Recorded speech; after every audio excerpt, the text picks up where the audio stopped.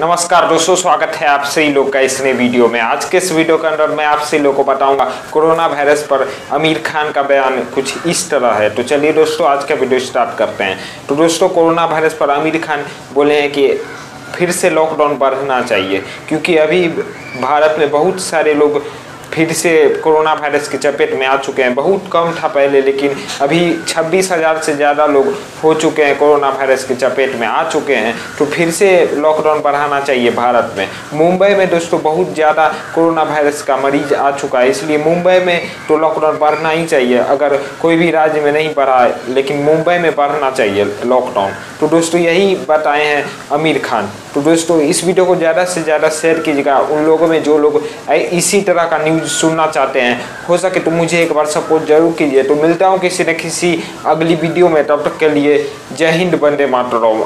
सही लोग का दिन शुभ हो।